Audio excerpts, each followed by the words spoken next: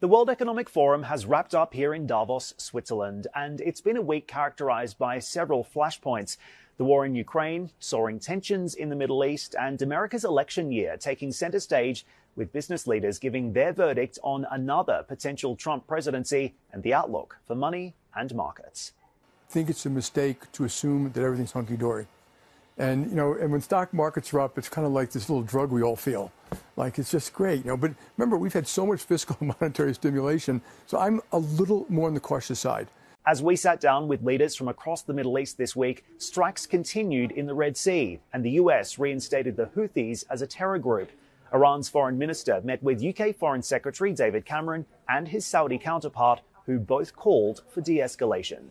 We believe the roots to go back to Israel's crimes and genocides in Gaza.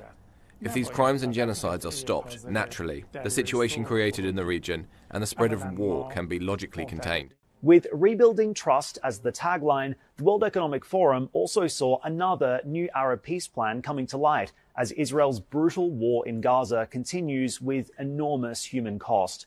Saudi Arabia says any normalization with Israel can't happen without a ceasefire and a pathway towards a Palestinian state. In the backdrop, one of the world's oldest conflicts overshadowing the new, with Ukraine's President Zelensky on a Davos funding round, seeking money for the reconstruction of his country, which has been fighting a slow war against Russia for nearly two years. I have no reasons to doubt the sincerity of the commitment of the Biden administration to continue helping Ukraine, nor do I have reasons to believe that the Republican Party as a whole does not realize how fundamental it is to defeat Russia in Ukraine and not, uh, not to allow Russia to continue destroying the world order built by America.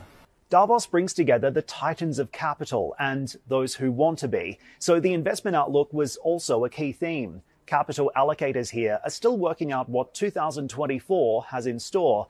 But one thing is for sure the debate over disinflation, rate cuts, climate change, and artificial intelligence is all here to stay. Dan Murphy, CNBC, in Davos.